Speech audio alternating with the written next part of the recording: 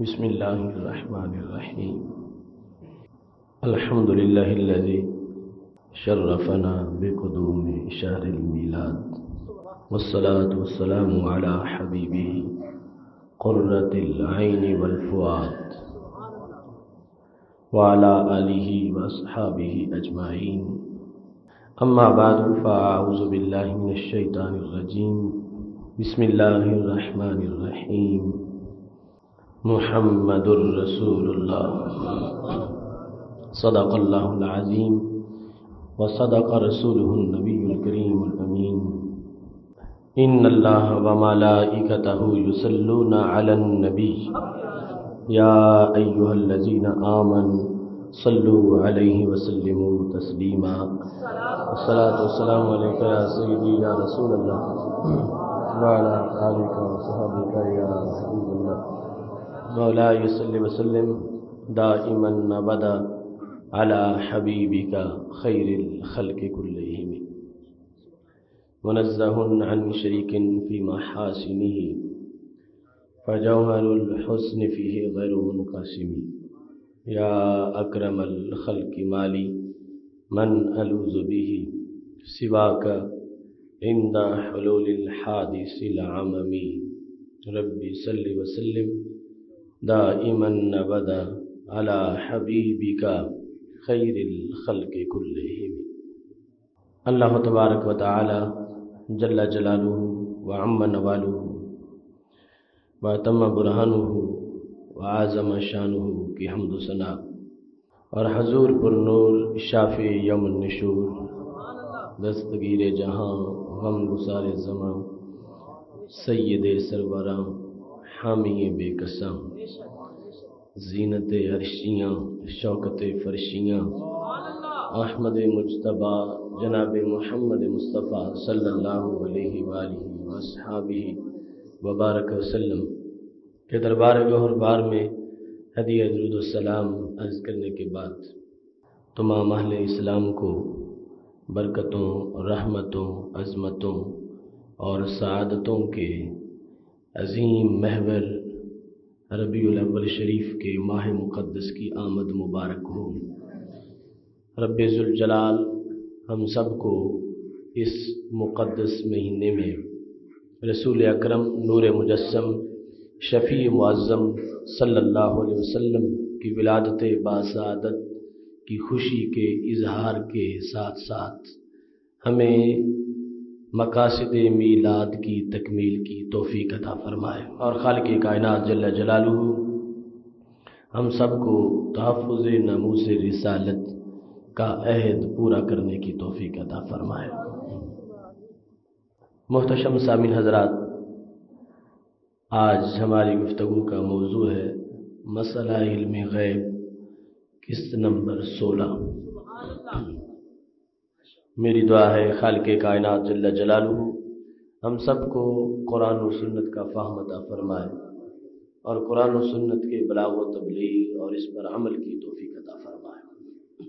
سید عالم نور مجسم، شفیع معظم صلی اللہ علیہ وسلم کو رب ذوالجلال نے جو مناسب جلیلہ اور مراتب رفیہ عطا فرمائے ہیں۔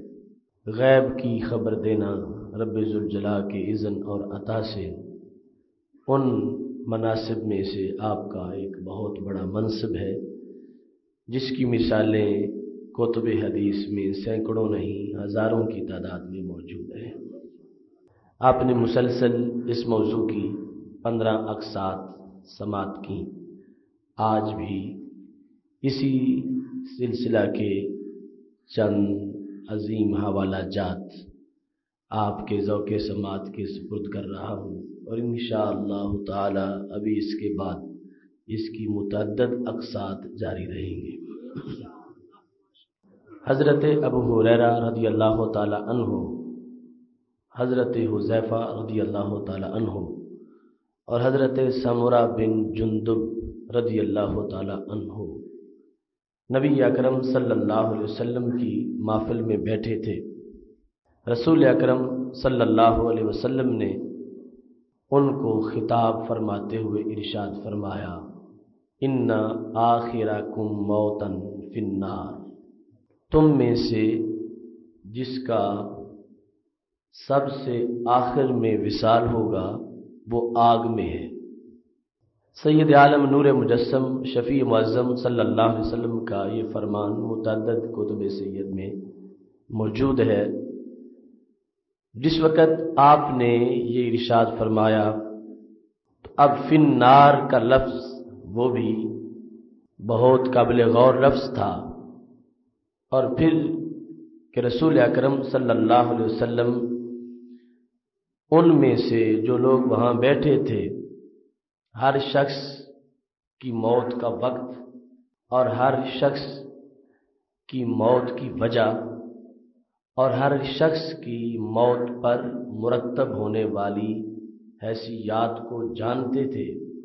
اس بنیاد پر آپ صلی اللہ علیہ وسلم نے یہ خبر اشاد فرمائی۔ اب اس خبر کے لحاظ سے صحابہ کرام علیہ مردوان کا جو عقیدہ تھا اس کو دیکھیے کہ جتنے لوگ وہاں بیٹھے تھے ان سب کا وصال ہو گیا۔ حضرت ابو حریرہ رضی اللہ تعالی عنہ اور حضرت سمرہ بن جندب رضی اللہ تعالی عنہ، یہ دونوں باقی رہ گئے۔ قاضی یاز رحمۃ اللہ علیہ نے شفا میں بھی اس کو روایت کیا ہے۔ اب حضرت ابو حریرہ رضی اللہ تعالی عنہ، جو بھی شخص ملتا اس سے پوچھتے کہ حضرت سمرہ کا حال کیا ہے۔ انہیں یہ تلاش تھی کہ میری صحت اب بدلتی جا رہی ہے، میں بیمار ہوتا جا رہا ہوں اور اس پر وہ خوش تھے کہ میں بیمار ہو جاؤں اور میری موت کا وقت آ جائے اور حضرت سمرا صحت مند رہے۔ تاکہ ان آخرا کم موتن فنار والے لفظ ان کے بارے میں پائے جائیں۔ ابن حکیم دبی کہتے ہیں کہ جب بھی میں حضرت ابو حرارہ رضی اللہ تعالیٰ عنہ سے ملتا تو وہ حضرت سمرا کی صحت کے بارے میں مجھ سے پوچھتے۔ اور جب میں کہتا کہ سمرا بن جند بالکل ٹھیک ٹھاک ہے ففا رہا تو یہ خبر سن کے ان کو خوشی ہوتی کہ مجھے میرے مریض ہونے کا مجھے کوئی غم نہیں ہے۔ مجھے حضرت سمرا کے صحت مند ہونے کی خوشی ہے کہ کرائن کے لحاظ سے یہ بات یوں لگتی ہے کہ میرا وصال ہو جائے گا اور آخر وہ رہ جائیں گے۔ جس وقت ابن حکیم دبی نے بار بار اس بات کو حضرت ابو حرارہ رضی اللہ تعالیٰ عنہ سے سنا کہ جب بھی حضرت سمرا کے بارے میں وہ پوچھتے ہیں، صحت کی خبر ملتی ہے تو خوش ہوتے ہیں، تو ابن حکیم نے پوچھا کہ اس کی وجہ کیا ہے؟ آپ حضرت سمرا کے بارے میں اتنا کیوں پوچھتے ہیں؟ اس موقع پر پھر حضرت ابو حرارہ رضی اللہ تعالیٰ عنہ نے یہ کہا کہ ہم اس وقت رسول اکرم صلی اللہ علیہ وسلم کے دربار میں دس صحابہ بیٹھے تھے۔ ان دس صحابہ کو خطاب کرتے ہوئے نبی اکرم صلی اللہ علیہ وسلم نے یہ ارشاد فرمایا کہ تم میں سے جو سب سے آخر میں فوت ہوگا، ان نہ آخر کم موتن فنار جو سب سے آخر میں فوت ہوگا، وہ آگ میں ہے۔ تو حضرت ابو حرارہ رضی اللہ تعالیٰ نے کہتے تھے کہ باقی دس میں سے آٹھ تو فوت ہو چکے ہیں، ہم دو باقی رہ گئے ہیں۔ اور ہم میں سے ایک جو ہے وہ آخر ہوگا۔ تو مجھے یہ جستجو ہے کہ میں وہ نہ بنوں اور حضرت سمرا کا وصال آخر میں ہو۔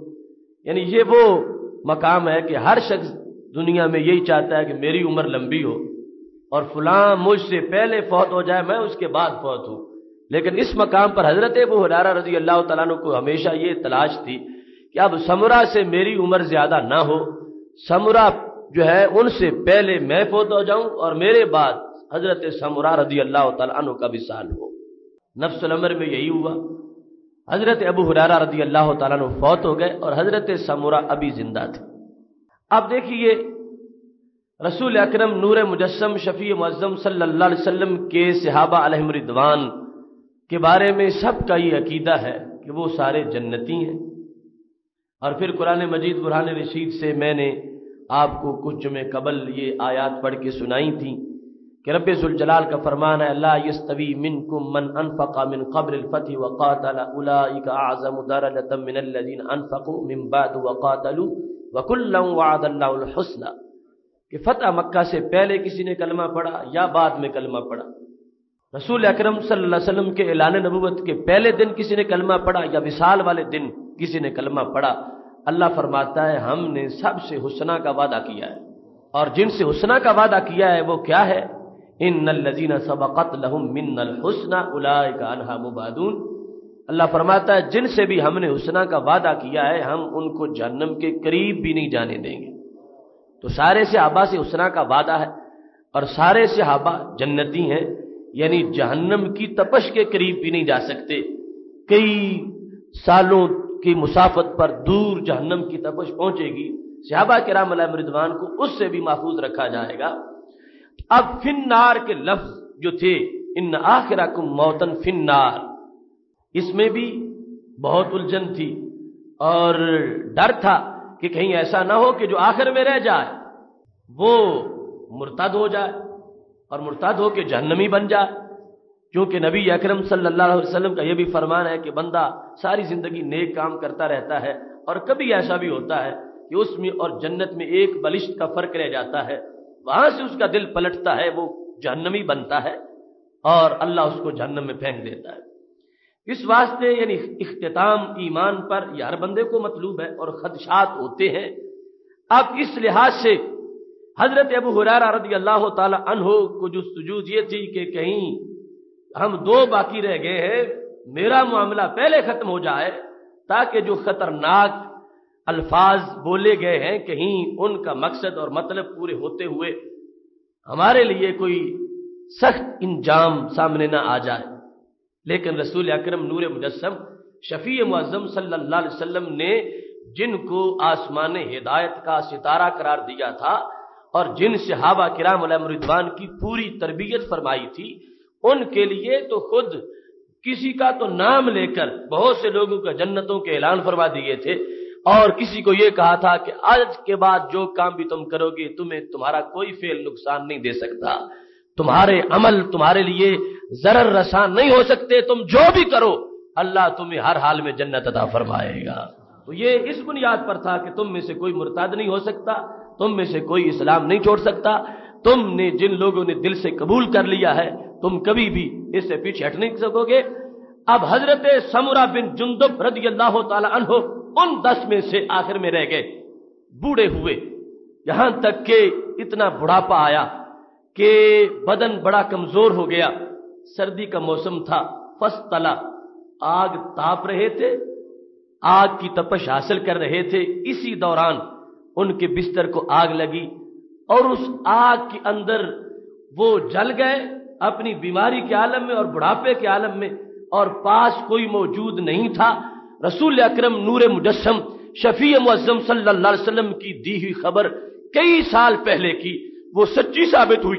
اور یہ بھی ثابت ہوا کہ اس آگ سے مراد جہنم کی آگ نہیں ہے۔ اس آگ سے مراد وہ آگ تھی کہ جس کی وجہ سے ان کو اللہ گھر میں مقام شہادت بھی عطا فرمائے گا۔ ان آخرکم موتن فنار جو تم میرے پاس دس بیٹھے ہو تم دس میں سے جن کا سب سے آخر میں وصال ہوگا۔ ان کے وصال کی وجہ آگ بنے گی۔ وہ ڈوب کے فوت نہیں ہوں گے۔ وہ میدان جنگ میں فوت نہیں ہوں گے۔ وہ بیماری کی وجہ سے فوت نہیں ہوں گے۔ وہ آگ کی تپش اور آگ کے جلسا دینے کی وجہ سے ان کا وصال ہوگا۔ تو نبی اکرم نور مجسم، شفیع معظم صلی اللہ علیہ وسلم کی خبر سچی ثابت ہوئی اور پتا چلا وہ اور ہے جن کو خبر نہیں کہ کوئی کب مرے گا۔ یہ اللہ کے خاص محبوب ہیں، جن کو بتا دیا ہے کہ کس کا وصال کب ہوگا اور کس طریقے سے ہوگا۔ سید عالم نور مجسم، شفیع معظم صلی اللہ علیہ وسلم، جس وقت میدان عہد میں تھے، حضرت حنزلہ رضی اللہ تعالیٰ عنہ شہید ہو گئے۔ حضرت حنزلہ رضی اللہ تعالیٰ عنہ کو ڈھونڈا جا رہا تھا۔ نہ زخمیوں میں نظر آتے تھے، نہ شہیدوں میں نظر آتے تھے۔ صحابہ حیران تھے کہ حنزلہ کو کون اٹھا کے لے گیا؟ تو ہمارے محبوب علیہ السلام نے فرما انی رعیت الحنزلہ تکسل الملائکہ. لوگوں ہمارے حنزلہ کو فرشتے غسل دے رہے ہیں۔ حنزلہ کو فرشتے غسل دے رہے ہیں۔ حالانکہ شہید کا لو اس کے بدن پہ برقرار رکھا جاتا ہے۔ اسی کے ساتھ اس کو دفن کیا جاتا ہے۔ قیامت کا دن ہوگا، اٹھے گا۔ لون ہو لون دم وری ہو ریح المس اس کے بدن سے تازہ خون نکل رہا ہوگا۔ اس کا رنگ تو خون جیسا ہوگا، مگر خوشبو کستوری جیسی ہوگی۔ اب اس مقام پر حضرت حنزلہ رضی اللہ تعالی عنہ کو جس وقت فرشتے غسل دے رہے تھے اور صحابہ کہتے ہیں، جب ہم نے ان کو پایا تو واقعی ان کے بالوں سے پانی کے قطرے ٹپک رہے تھے اور ان کو غسل دیا جا چکا تھا۔ تو رسول اکرم نور مجسم، شفیع معظم صلی اللہ علیہ وسلم نے پہلے تو یہ خبر دی کہ حضرت حنزلہ رضی اللہ تعالیٰ نے کو صحابہ تم نہیں دیکھ رہے کہ ان کا معاملہ کیا ہے؟ میں نے دیکھ لیا ہے۔ ان کو کوئی اغوا کر کے نہیں لے گیا۔ ان کو اللہ کے فرشتے، ان کے اعزاز کے پیش نظر غسل دے رہے ہیں۔ اور ایک معاملہ ان کا تھا جو باقی شہداء سے مختلف تھا۔ اس واسطے ان کو فرشتوں نے غسل دیا ہے۔ فس جاؤ اس کی اہلیہ محترمہ سے پوچھو۔ حضرت حنزلہ رضی اللہ تعالی عنہ کو جو فرشتوں نے غسل دیا، تو اس کا ایک پس منظر ہے۔ اس کی وجہ ہے، میرے صحابہ، تم ان کی اہلیہ سے پوچھ سکتے ہو۔ اور یاد رکھو، حضرت حنزلہ رضی اللہ تعالی عنہ اسی رات ان کی شادی ہوئی تھی۔ اور وہ رخصتی کا پہلا دن تھا۔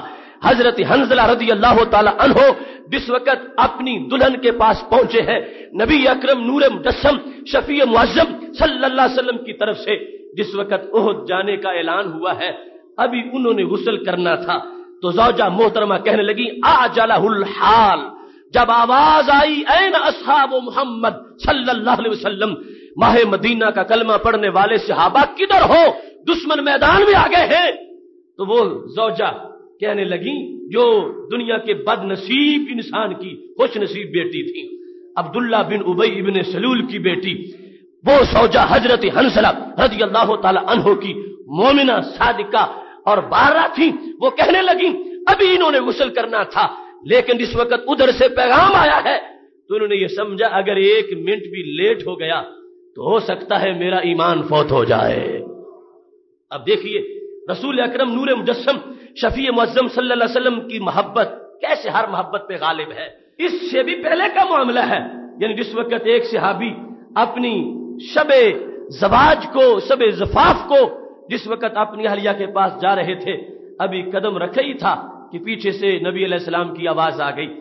تو وہ وہیں سے واپس پلٹے اور سرکار کے پاس پہنچے اور ان کو اپنی شادی کی محبت اور اہلیہ کی محبت روک نہیں سکی کہ اب شادی ہو رہی ہے اور پہلی رات ہے اور ابھی کمرے میں داخل بھی نہیں ہوا اور پیچھے سے آواز آ گئی ہے۔ وہیں سے لوٹے اور سرکار کے لشکر میں پہنچے۔ اور اللہ نے وہی مقام شہادت عطا فرما دیا۔ اور حنزلہ رضی اللہ تعالی عنہ اس حال میں لوٹے۔ ابھی غسل کرنا باقی تھا۔ رسول اکرم نور مجسم شفیع معظم صلی اللہ علیہ وسلم کے پیغام پہ پہنچے ہیں۔ جاتے ہی شہید ہو گئے ہیں۔ اگرچہ انہوں نے غسل نہیں کیا تھا۔ سرکار نے فرمایا، باقی صحابہ کا غسل نہیں ہے اور ان کو غسل فرشتوں نے دیا ہے۔ اس واسطے کہ وہ غسل کرنے والا بھی باقی تھا۔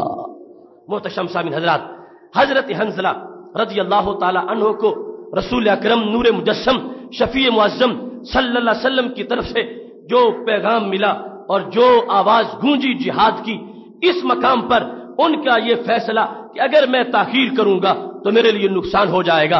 ہو سکتا ہے وہ گرفت ہو جو ایک صحابی نماز پڑھ رہے تھے۔ تو سرکار نے بلایا تھا۔ تھوڑی دیر کے بعد حاضر ہوئے۔ تو کہنے سرکار نے پوچھا، میں نے تو پہلے بلایا تھا۔ اور تم اتنی لیٹ پہنچے ہو۔ تو کہنے لگے، یا رسول اللہ صلی اللہ علیہ وسلم، میں تو نماز پڑھ رہا تھا، تو نماز کا سلام پھیرتا تو پھر آتا، جو تاخیر ہوئی وہ نماز پڑھنے میں ہوئی. تو فرمایا، تمہیں پتا نہیں کہ اللہ نے فرمایا تجیب اللہ رسول کہ اللہ اور رسول جب بھی تمہیں بلائیں، تم جس حال میں ہو، فوراً ان کے پاس پہنچو. فرمایا، جس رب کی تم نماز پڑھ رہے تھے، اس رب نے تم پر میری اطاعت لازم کر رکھی ہے، نماز چھوڑ کے تم پر لازم تھا تم میرے پاس پہنچتے اور اس پر صحابہ کا اتفاق تھا جو نماز چھوڑ کے سرکار کے کہنے پر آ جائے اور جو کام سرکار فرمائے وہ کرے قبلے سے سینہ بھی پھر جائے، چلتا بھی رہے، پھرتا بھی رہے، باتیں بھی کرتا رہے۔ جہاں سے چھوڑ کے آیا تھا وہیں پڑھ لے، نماز کبھی بھی ٹوٹے گی نہیں، مکمل ہو جائے گی۔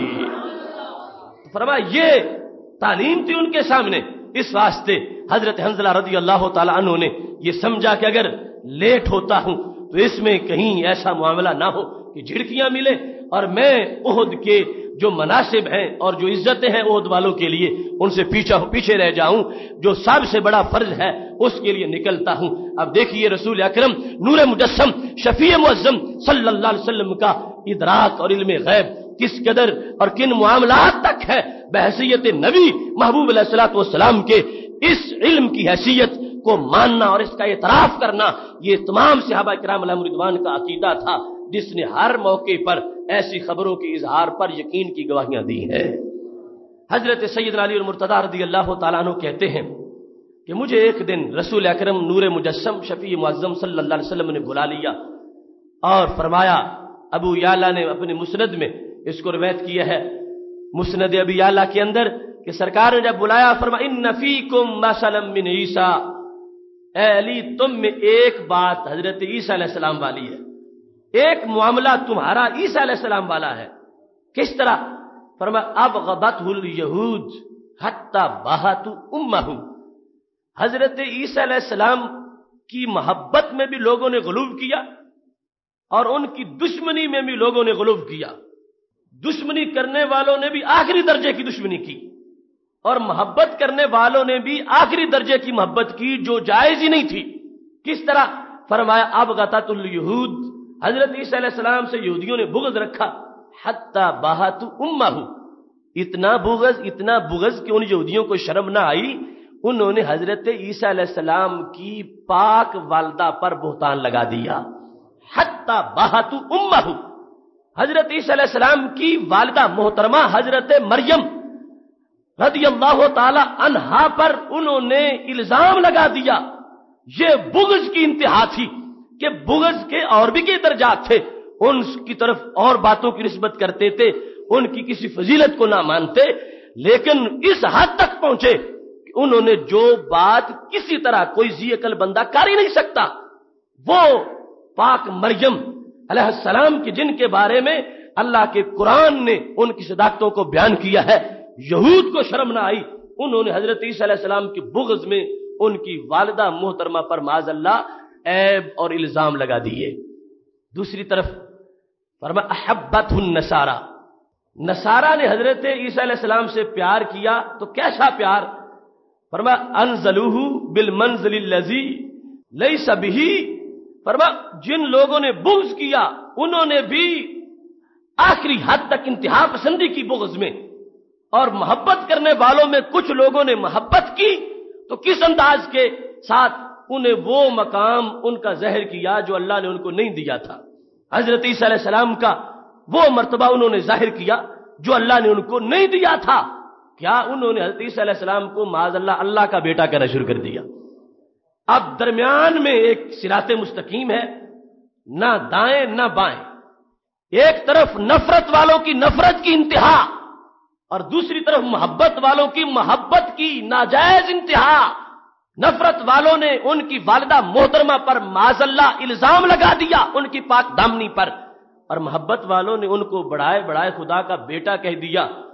درمیان میں حق والے تھے جنہوں نے کہا ان کی والدہ محترمہ پاک دامن ہے، ان کے تقدس کی قسمیں، ان کے تقدس کے ذکر قرآن مجید میں موجود ہے اور یہ اللہ تبارک و تعالیٰ کے روح اللہ ہے۔ بیٹے نہیں ہیں، شان ان کو اللہ نے بڑی دی ہے۔ یہ چاہیں تو مردوں کو زندہ کریں، چاہیں تو اندوں کو آنکھیں دیں، چاہیں تو ہاتھ پھیرے تو بیماریاں دور ہو جائیں۔ یہ ساری فضیلتیں اللہ نے ان کو دی ہے مگر یہ اللہ کے بیٹے نہیں ہیں۔ ہمارا اللہ بیٹوں سے پاک ہے۔ یہ ساری شانیں رکھتے ہوئے بھی اللہ کے بندے ہیں، اس کے بیٹے نہیں ہیں۔ اب رسول اکرم صلی اللہ علیہ وسلم کا علم غیب دیکھیے۔ فرمایا اے علی میں تجھ میں یہ بات دیکھ رہا ہوں۔ جو معاملہ قوم نے، لوگوں نے حضرت عیسیٰ علیہ السلام سے کیا تھا، تمہارے بارے میں بھی یہ بات دنیا دیکھے گی۔ ایک طرف محبت میں ناجائز محبت اور دوسری طرف دشمنی میں ناجائز دشمنی۔ بغض بھی حد درجے کا اور محبت بھی حد درجے کی۔ یہ بات جو رسول اکرم نور مجسم شفیع معظم صلی اللہ علیہ وسلم نے حضرت علی رضی اللہ تعالیٰ کو اس وقت کہی تھی۔ جس وقت نہ ابھی کوئی بغض کا منظر سامنے تھا اور نہ ہی کوئی ایسی محبت کا جو ناجائز ہو، منظر سامنے تھا، محبوب علیہ والسلام نے خبر دی۔ حضرت علی رضی اللہ تعالیٰ عنہ نے لوگوں کے مجمع میں جس وقت یہ باتیں سامنے آ گئیں تو فرمایا اللہ یہ کفی یا اسنان لوگوں، میرے بارے میں یاد رکھو، میرے بارے میں دو پارٹیاں ہلاک ہو جائیں گی۔ کون سی؟ فرمایا، جو میرے ساتھ بغض کرے اور وہ بغض کے جو کرنا حرام ہے، ایسے بغض والے بھی ہلاک ہو جائیں گے۔ اور جو میری محبت میں وہ کچھ کہیں جو اللہ نے مجھے نہیں بنایا، تو وہ بھی ہلاک ہو جائیں گے۔ رسول اکرم نور مجسم، شفیع معظم صلی اللہ علیہ وسلم نے جو خبر دی تھی، اس خبر کا اظہار بعد کے معاملات میں ہوا۔ جس وقت خارجیوں کا طبقہ پیدا ہوا اور انہوں نے کوفہ کی بڑی مسجد کے اندر حضرت علی کے سامنے کھڑے ہو کے یہ کہہ دیا علی، تم اپنے آپ کو امیر المومنین سمجھتے ہو۔ ہم تو تجھے مومن بھی نہیں مانتے۔ تو مومن بھی نہیں ہو، اس واسطے کہ تم نے ان الحکم اللہ للہ پر عمل نہیں کیا۔ تم نے دو بندوں کا فیصلہ ماننے کے لیے، حضرت عمر بن ناس اور حضرت ابو موسیٰ اشری رضی اللہ تعالی عنہم کو تم نے حکم بنا لیا۔ اور حضرت امیر معاویہ رضی اللہ تعالیٰ عنہ کے جھگڑے میں تم نے یہ کہا، یہ دونوں جو فیصلہ کریں گے، وہ مجھے منظور ہوگا۔ علی قرآن تو کہتا ہے، فیصلہ صرف اللہ کا ہے، بندوں کا نہیں ہے۔ تم نے قرآن کو چھوڑ دیا۔ ہم تجھے امیر المومنین کیا معذ اللہ مومن بھی نہیں مانتے؟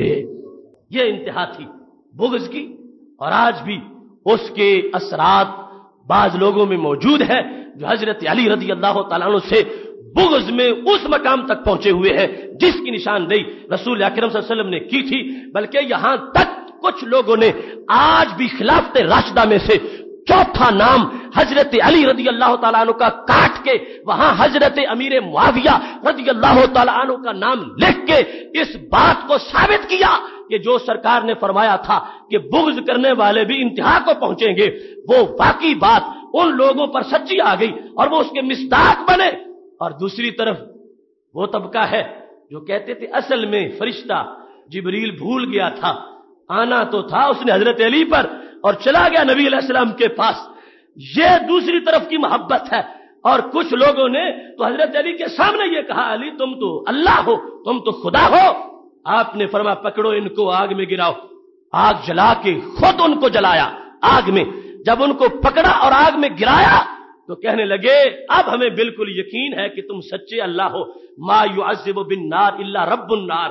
آگ کا عذاب اللہ ہی دیتا ہے۔ اب یہ گمراہی اور یہ محبت جو ناجائز تھی اور آخری درجے کی نہایت گمراہ کن صورتحال تو حضرت علی رضی اللہ تعالی عنہ کے بارے میں جو سرات مستقیم ہے، محبت کے لحاظ سے اور ان کے تمام پہلوؤں کے لحاظ سے نہ مقام سے بڑھایا جاتا ہے اور نہ مقام سے گرایا جاتا ہے۔ اس شاہراہ کو اہل سنت کہا جاتا ہے۔ رسول اکرم، نور مجسم، شفیع معظم صلی اللہ علیہ وسلم کی غیب کی خبریں اس معاملے میں بھی سچی ثابت ہوئی جنہوں نے دونوں پہلو جو دوسری طرف والے سے اختیار کیے، بغض والے، بغض میں ہلاک، محبت کی انتہا پسندی والے، محبت میں ہلاک وہ مرتبہ دینے لگے جو نہیں تھا۔ اور اللہ تبارک و تعالیٰ نے ہمیں یہ توفیق بخشی کہ رب کائنات نے ان کو جتنے مراتب عالیہ دی ہیں، سب مانتے ہیں۔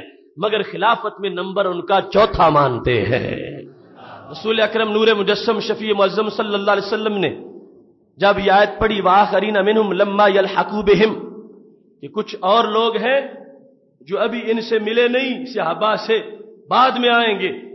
ان کی عظمتیں بھی بڑی ہیں، ان کی فضیلتیں بھی بڑی ہیں۔ پوچھا گیا، وہ کون ہیں جو ابھی نہیں آئے اور بعد میں بڑے بڑے کارنامے کریں گے؟ حضرت سلمان فارسی رضی اللہ تعالیٰ عنہ سرکار کی محفل میں بیٹھے تھے۔ آپ نے ان کی طرف اشارہ کر کے فرمایا، لو کان العلم بسریا لنا لہو رجال ہاؤلائے او لنا لہو ابنا فارس۔ فرمایا، اگر علم سریا پر بھی ہوگا، تو اس سلمان فارسی کی نسل کے بندے وہاں سے بھی اتار کے لے آئیں گے۔ ابنائے فارس، مراد تھا اجمی لوگ۔ عرب کے ساتھ جو عجم ہے، فرمایا اگرچہ قرآن عرب میں نازل ہوا، رسول عرب کی دھرتی پہ پیدا ہوئے اور قرآن عربی زبان میں آیا، لیکن میں تمہیں خبر دیتا ہوں لوگوں اگر علم سریا پر بھی ہوگا، تو جو لوگ عجم میں بھی میرا کلمہ پڑھ رہے ہیں، ان کی صلاحیتوں کو معمولی نہ سمجھو، اتنا پڑھیں گے، اتنا پڑھیں گے، اتنا پڑھیں گے، یہاں تک کہ وہاں سے بھی ان کو علم اتارنا پڑا تو اتار کے لے آئیں گے۔ یہ اشارہ تھا حضرت امام اعظم ابو حنیفہ رضی اللہ تعالی عنہ کی طرف، جو فارسی نسل تھے۔ اور آپ کے اباؤداد یہاں اس فارسی علاقے سے، اجمی علاقے سے وہاں پہنچے تھے۔ اور پھر یہ دنیا نے دیکھا کہ جو سریا پر علم تھا، امام اعظم ابو حنیفہ کی فقات نے وہ بھی اتار کے لوگوں کے سامنے پیش کر دیا۔ پانچ لاکھ نئے مسائل کا استعمال کرنا یہ حضرت امام اعظم ابو حنیفہ رضی اللہ تعالی عنہ کا امت پر احسان ہے اور رسول اکرم نور مجسم شفیع معظم صلی اللہ علیہ وسلم نے جو واضح کیا تھا کہ یہ اجم والے اور یہ جنس تھی ایک یعنی کوئی خاص معین بندہ اگر نہ بھی لیا جائے تو پوری قوم تھی۔ اگر دیکھو گے تو امام بخاری بھی اسی زمرے میں آتے ہیں۔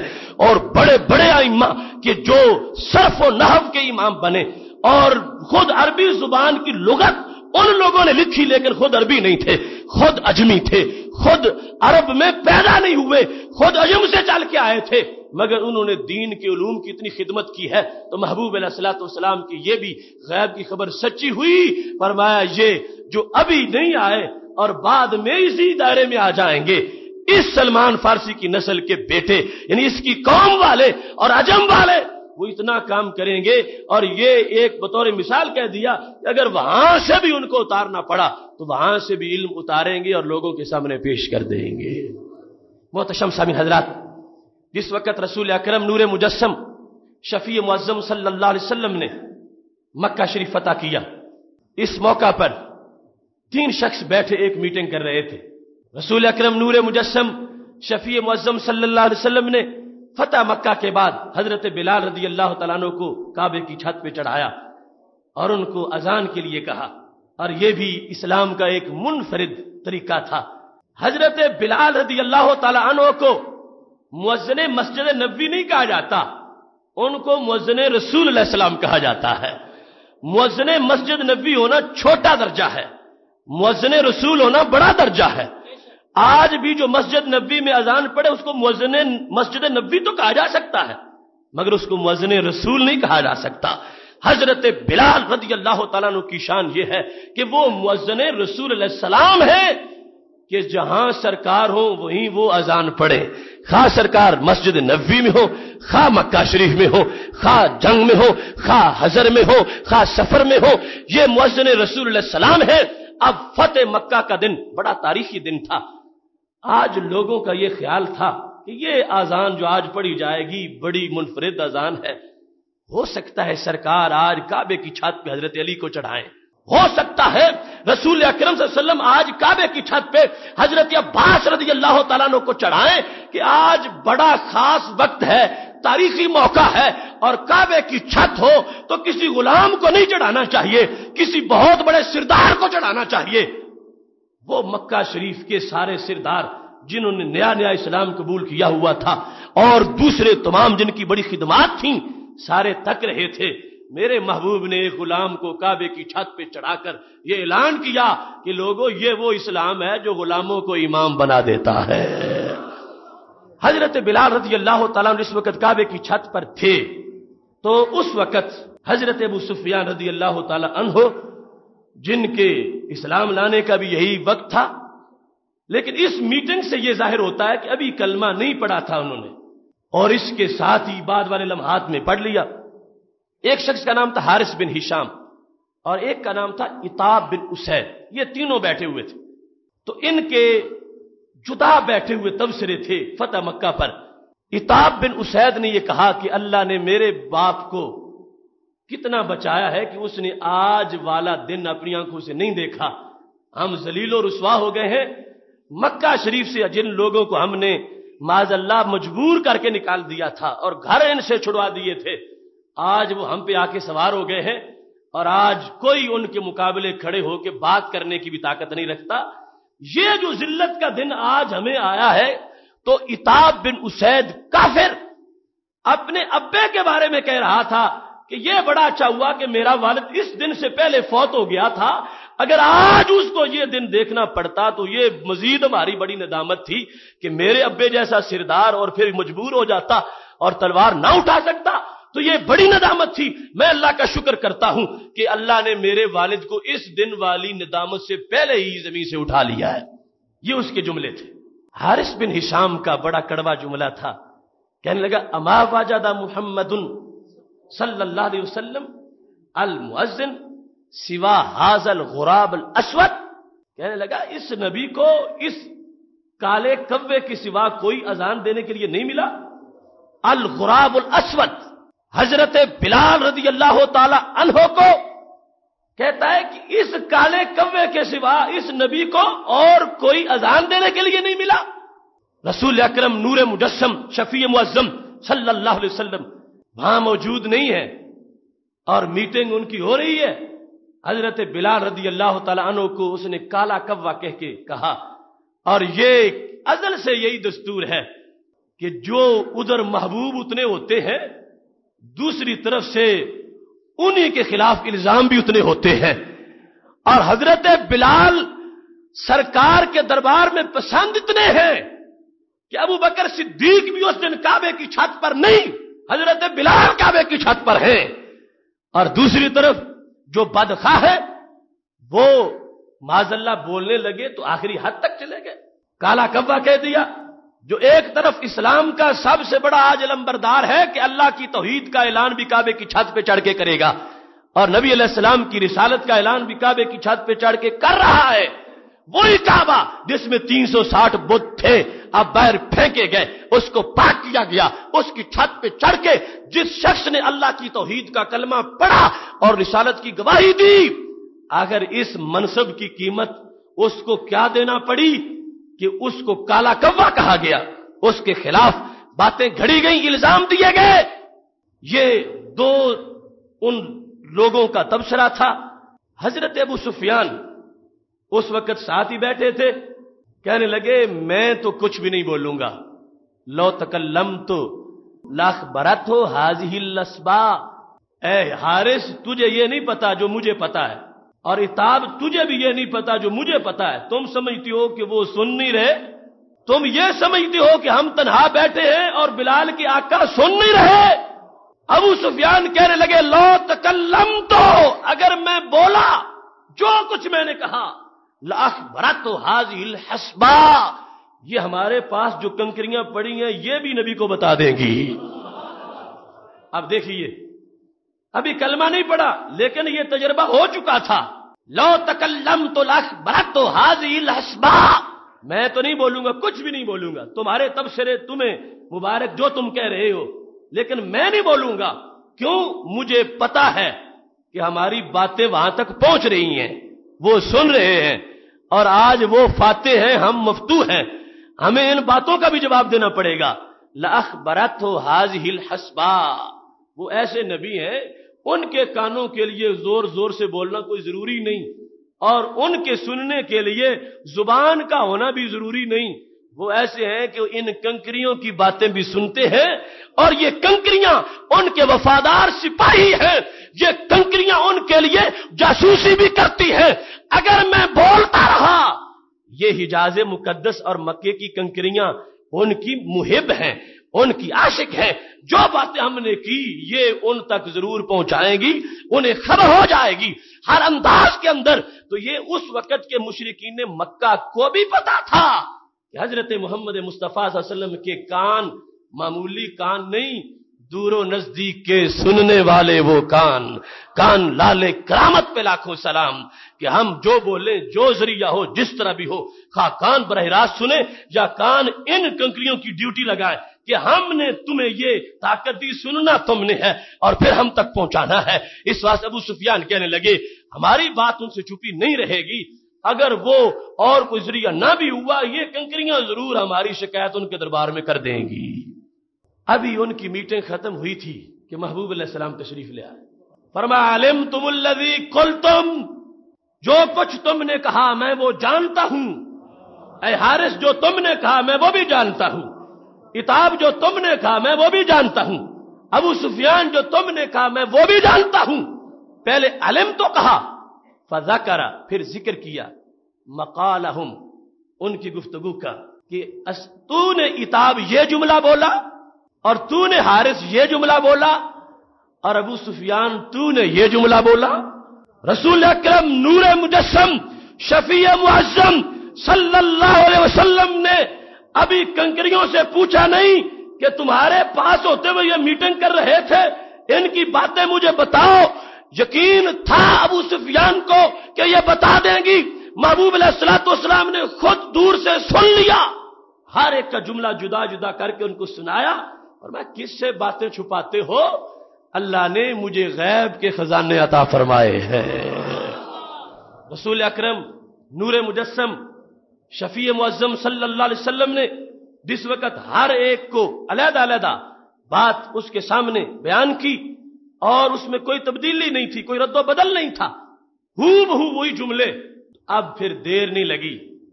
کالو نشہد ان کا رسول اللہ تینوں بولے جو پہلے سازشی بن کے بیٹھے ہوئے تھے اور دشمن تھے اور جن کے دلوں میں کفر تھا، سرکار کے ایک جملے نے ان کو جہنم سے نکال کے جنتی بنا دیا۔ جب میرے محبوب علیہ السلام کے علم کا اظہار ہوا قالو انہوں نے کہا نشہدو ان کا رسول اللہ ہم دل سے گواہی دیتے ہیں تم اللہ کے سچے نبی ہو۔ اب یہ معاملہ ہے رسول اکرم، نور مجسم، شفیع معظم صلی اللہ علیہ وسلم کے علوم کا حال کے کائنات جل جلالہ نے اتنا وسیع علوم دیا۔ جس علم کے مناظر کو دیکھ کے لوگوں نے کلمہ پڑا اور مشرکوں نے شرک چھوڑا، آج اس علم غیب کے ماننے والوں پر شرک کے فتوے لگائے جا رہے ہیں۔ اس بنیاد پر تو لوگ کلمہ پڑھتے رہے۔ ان تینوں کے دل سے سیاہی ختم ہوئی۔ کہنے لگے کہ جو دور بیٹھے ہماری باتوں کو سن لیتے ہیں، یہ تو پھر سچے۔ جو خبریں سچی دیتے ہیں، غیب میں رہتے ہوئے پھر فرش پہ بیٹھ کے عرش کی خبریں بھی سچی دیتے ہیں۔ لہذا نہ انہوں نے کسی سے مشورہ کیا، نہ انہوں نے مزید تاخیر کی۔ رسول اکرم نور مجسم، شفیع معظم صلی اللہ علیہ وسلم کو جب سنا کہ خبر بالکل سچی دے رہے ہیں، سب نے گواہی دی کہ اللہ تبارک و تعالیٰ نے تجھے سچا رسول بنایا ہے۔ سید عالم نور مجسم شفیع معظم صلی اللہ علیہ وسلم کی ایک ایک حدیث سے درجن و اخبار غیب سامنے آتی ہیں اور اس انداز سے تسلسل اور تواتر کے ساتھ کہ محبوب علیہ السلاۃ والسلام اگر کسی مقام پر، کسی موقع پر کسی بھی مسئلے کی کوئی حکمت بیان کر رہے ہیں، اس کے پہلو میں اور اس کی گہرائی میں اگر غور کیا جائے گا تو علوم مصطفیٰ صلی اللہ علیہ وسلم کی کئی آبشاریں نظر آئیں گی اور یہ تو کمال ہے رب الجلال کا۔ کہ جس نے کہا تھا، اگر بندے میرے علم کو دیکھنا چاہیں، تو مجھ تک نہیں پہنچ سکتے۔ اے پیغمبر، ہم نے تجھے علم دے کر اپنا گواہ بنا دیا ہے۔ جس نے میرے علم کے بارے میں جاننا، وہ تمہارا تو دیکھے۔ اگر تمہارے علم کا اندازہ نہیں کر سکتا، تو میرے کا اندازہ کیسے کر سکے گا؟ یا ایوہ النبی انا ارسلنا کا شاہدہ۔ اے نبی، ہم نے تجھے شاہد بنایا ہے۔ گواہ بنایا ہے تو رسول اکرم نور مجسم شفیع معظم صلی اللہ علیہ وسلم کا گواہ ہونے کا کروڑوں گواہیوں میں سے ایک پہلو یہ ہے کہ لوگوں کو یہ تلاش ہے کہ ہمارے رب کے علم کا پتہ چلے، اس کا علم کیسا ہے؟ فرمایا، ہم نے محبوب تجھے گواہ بنا دیا ہے۔ اب جس کو گواہ بنایا، اسے آتے ہی کچھ نہ ہو معذ اللہ تو پھر گواہی کیسے ہوگی؟ خال کے کائنات جل جلالہ نے اتنا دیا ہے، اتنا دیا ہے کہ جس جہت بھی بندہ دیکھتا ہے، علم کے کئی جہاں نظر آتے ہیں۔ جس وقت حضرت عثمان غنی رضی اللہ تعالیٰ کو یہ فرمایا تھا، ان اللہ یقمسو کا قمیصہ عثمان تجھے اللہ خلافت کی کمیز پہنائے گا۔ ان اراد کل منافقون علی خلیہ فلا تخلاہ حتی تلقانی۔ اگر منافق وہ کمیز تمہاری اتارنا چاہے تو خود نہ اتارنا۔ یہاں تک کہ تمہاری ملاقات میرے ساتھ ہو جائے۔ اور پھر فرمایا، تمہارا خون جب ٹپکے گا تو وہ فسیکفی کہم اللہ، اس آیت پہ گرے گا۔ اب رسول اکرم صلی اللہ علیہ وسلم جب فرما رہے تھے، اس وقت تو ابھی پہلی خلافت کا وقت بھی نہیں آیا تھا۔ سعید عثمان غنی رضی اللہ تعالی عنہ کا زندہ رہنا، پھر خلیفہ بننا اور خلافت کے بعد ان کے سامنے غداروں کا غداری کرنا اور باغیوں کا بغاوت پہ اترنا اور پھر خلافت سے دست بردار ہونے کا مطالبہ کرنا اور پھر عثمان غنی رضی اللہ تعالی عنہ کا سرکار کی ڈیوٹی کے مطابق خود خلافت سے دستبردار نہ ہونا، شہید ہونا، خون کا گرنا اور اس قرآن کے فسیق فی اللہ پر پڑھنا عید نبی میں جس کا کوئی اس طرح لکھا ہوا مجموعہ بشکل مصف موجود ہی نہیں تھا۔ یہ ساری باتیں اس بات کا اعلان کر رہی ہیں کہ محبوب علیہ السلام جملہ ایک بولتے ہیں، خبریں بیسیوں ہوتی ہیں۔ فسیق فی اللہ اور اس پر تمہارا خون گرے گا۔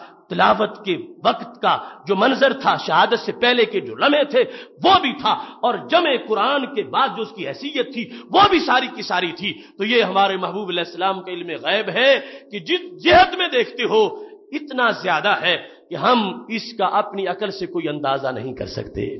وہ آخر و الحمد للہ رب العالم